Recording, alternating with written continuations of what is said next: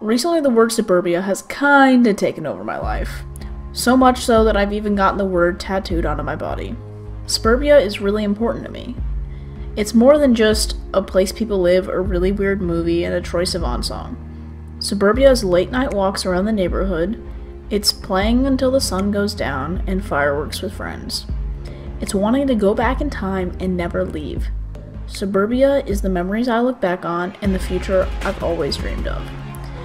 It's the feeling of finally letting go and then desperately wanting it all back. Suburbia is fresh air and fireflies, it's playing tag in the dark and never wanting the day to end. It's the friendships that never die and the memories that will last forever.